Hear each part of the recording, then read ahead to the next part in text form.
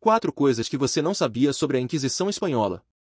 Durou quase 350 anos, de 1478 a 1834.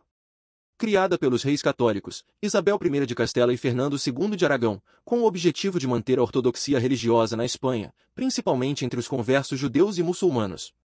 Ficou conhecida por suas práticas extremamente cruéis e violentas, como o uso de tortura para obter confissões, os inquisidores acreditavam que a dor e o sofrimento eram necessários para a salvação das almas dos hereges. Muitas pessoas foram acusadas de crimes religiosos e julgadas pelos tribunais da Inquisição. Estima-se que entre 150 mil e 400 mil pessoas tenham sido processadas pela Inquisição, das quais cerca de 3 mil foram condenadas à morte.